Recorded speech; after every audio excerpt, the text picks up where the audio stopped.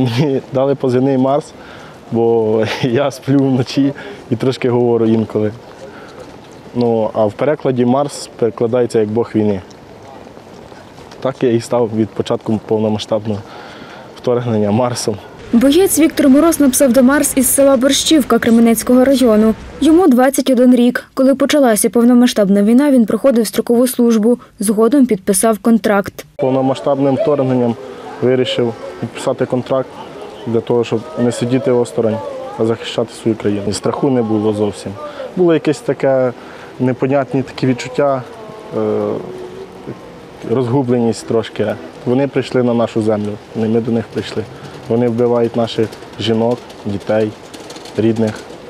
Їх потрібно виганяти звідси. З вересня минулого року Віктор Мороз несе службу на Донеччині. Щасливі моменти це тоді, коли стріляє артилерія і вона не попадає по тобі, а попадають наші.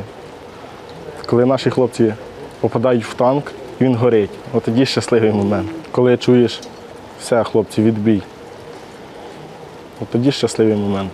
Марс розповідає, на передовій його підтримували дзвінки від рідних. Найбільше чекав розмов із дружиною. Вона мене підтримує. Це мене якось, я не знаю, збодрює. Все буде добре, все нормально. Ти зможеш. Казала, що в мене вибору нема. Каже, не дай Бог щось з тобою станеться, то я тебе каже, приб'ю. Віктор звертається до людей у тилу. Щоб була віра в перемогу. Не казали, от там вони там до нас прийдуть. Такого не буде. Хлопцям, яким, які ще не служать, хай йдуть, захищають свій дім. Від того, що будемо сидіти вдома, ситуація не покращиться. І нам потрібен надійний тил. Бо коли немає тилу, то і на передовій немає що робити.